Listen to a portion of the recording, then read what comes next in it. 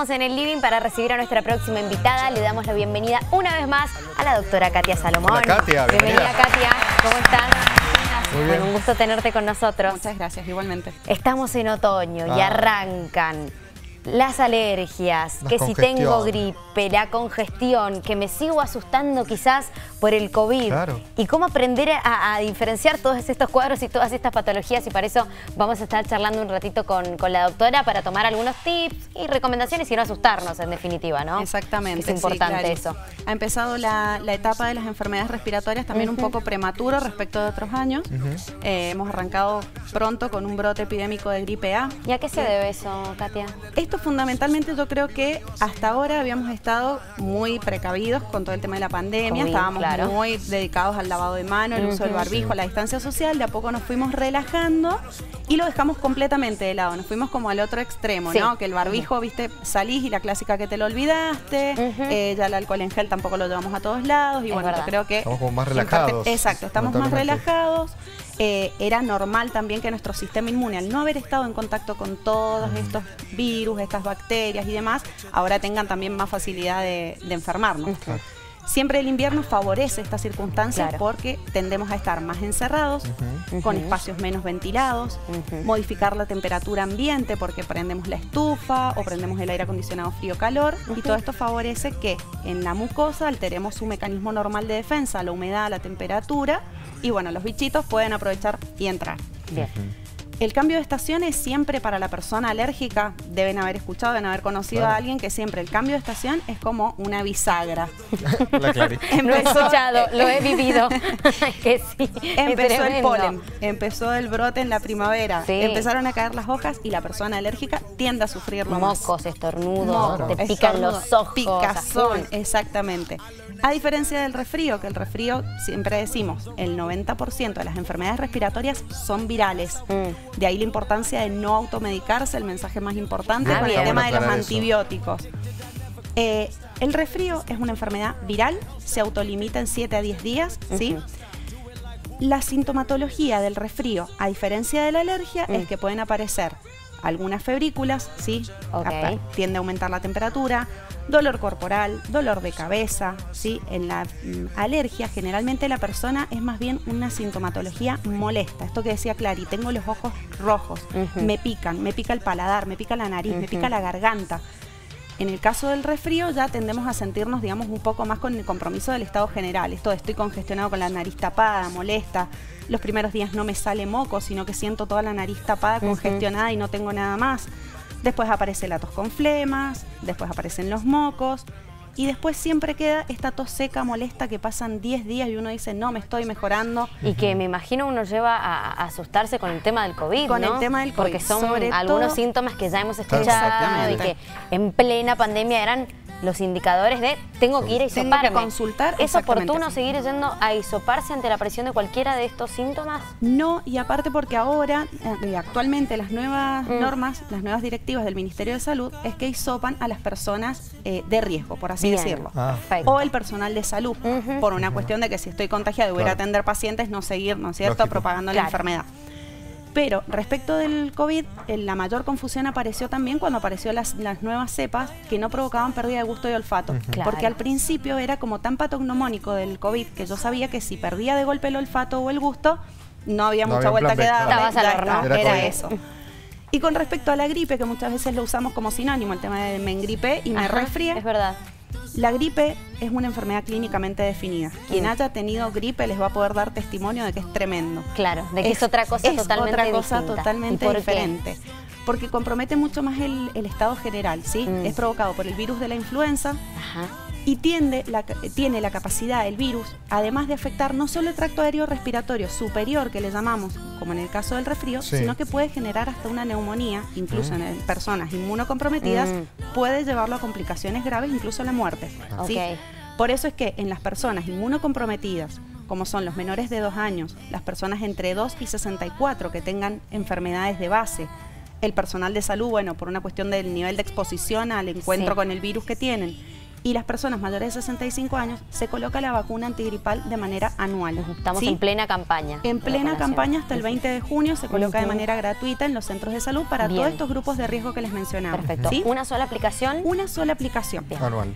Anual. Esto se hace anual porque el virus tiene la capacidad de ir mutando, ¿sí? Ajá. Entonces se van generando distintas cepas que llamamos, Claro. ¿sí?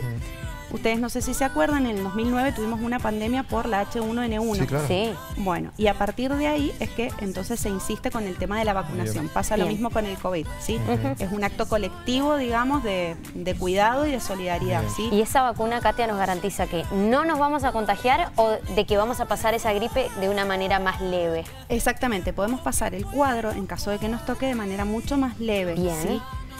En el caso de la, de la vacuna de la gripe, es importante aclarar, hay un mito muy, muy metido en la sociedad Mm. respecto de me vacuné y me engripé.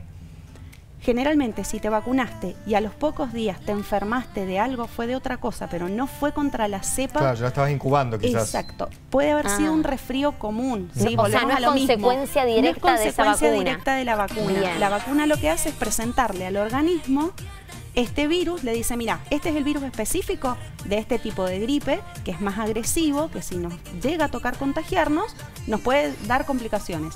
El mecanismo inmune del cuerpo va a generar la defensa específica para Claro. ese virus. Por lo tanto, cuando yo me encuentro nuevamente con ese virus, con una persona enferma, ya tiene la respuesta preparada del organismo. Bien. ¿Sí? Katia, pero no hay problema si nos inoculamos justo cuando estamos transitando esa gripe o se No. está incubando, no, pasa no, nada. No, no, no. Bien. No. No es que va a agravar No, no, el no, cuadro. no agravaría el cuadro, no. Bien, no, perfecto. Y entonces me gustaría que podamos hacer como una especie de cuadro comparativo mental, si se quiere, para poder diferenciarlas, para saber cómo actuar en cada una. Siempre, bueno, como instancia eh, principal es recurrir a, a- a tu médico de cabecera. Consultar ante Eh, la mínima duda, por supuesto, pero bueno, en líneas generales, Sí. Clary, la alergia ujú.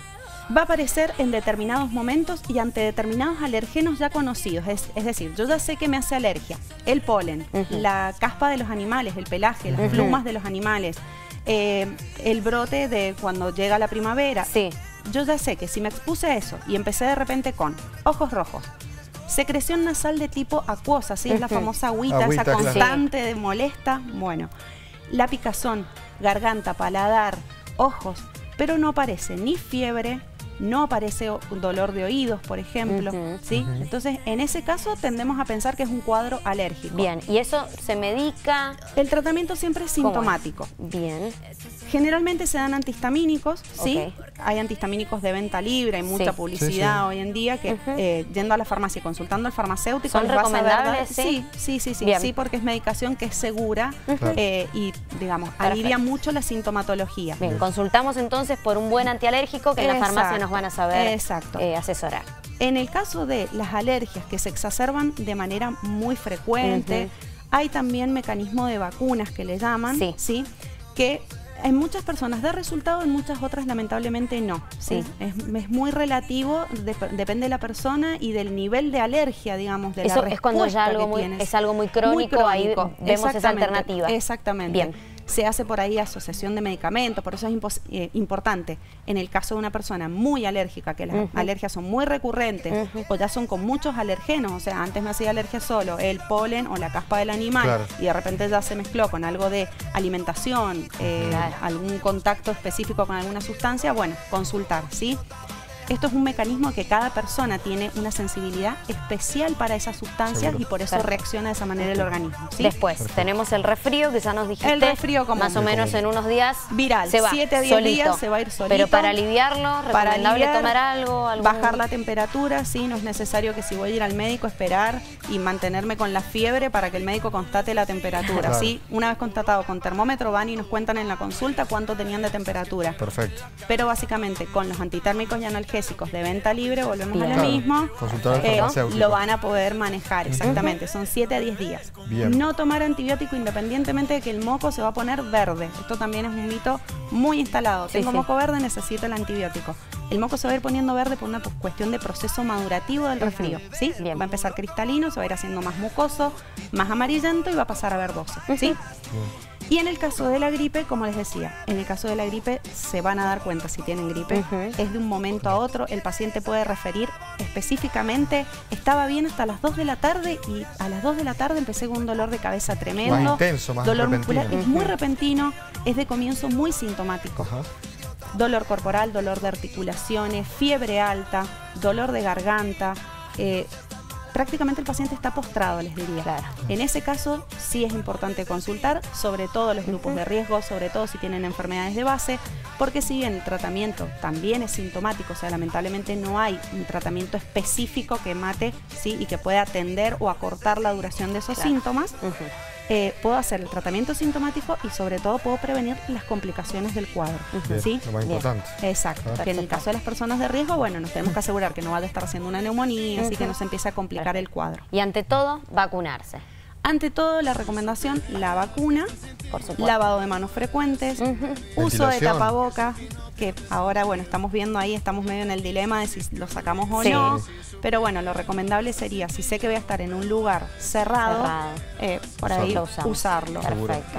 Y no acudir, por favor, enfermos cuando tienen sintomatología al trabajo. No un llevar a los chicos al colegio. No llevar a los chicos al colegio, exactamente. Perfecto. Porque bueno, se- somos, nosotros somos el vector de todos estos virus. O sea, a través nuestro llega a más personas y se van contagiando. Bueno, clarísimo, Katia. Súper Muchísimas. Bueno. gracias. Gracias, No, Katia, Ahí estaba favor. resumida toda la, la información en sus redes sociales que le vamos viendo en pantalla, así que los que quieran acceder al Instagram y buscarla a la doctora.salomón Katia, así lo van a poder hacer eh, en su cuenta para dejar cualquier consulta, cualquier duda y ver muchos más temas interesantes por allí. Gracias, Katia. Gracias, placer como Bueno, muchas. Gracias.